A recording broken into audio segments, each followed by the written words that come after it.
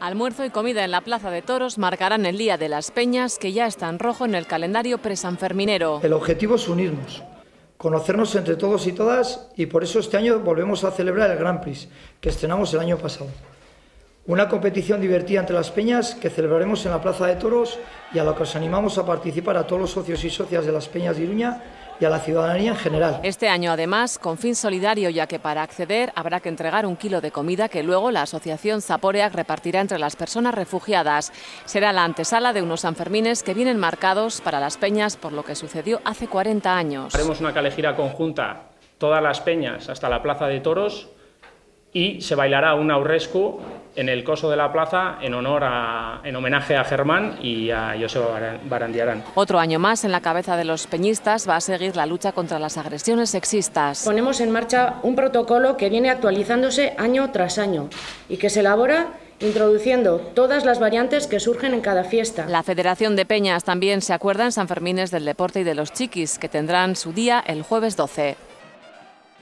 Son el resumen de un año de actualidad, un año en el que en Pamplona se ha hablado mucho de amabilización. Tienes que cambiar tu forma de trabajo. Cuenca es uno de los protagonistas de las pancartas de las peñas en las que como siempre está el alcalde y como casi siempre un nuevo periodo basado no en los maximalismos. No falta el que ha sido presidente del gobierno. Rajoy este año, eso sí, no es el protagonista absoluto, porque lo son ellas. El movimiento feminista acapara la mayor parte de pancartas y de entre todas a una le hace especial ilusión. La verdad es que esto es increíble estoy, estoy como eufórica.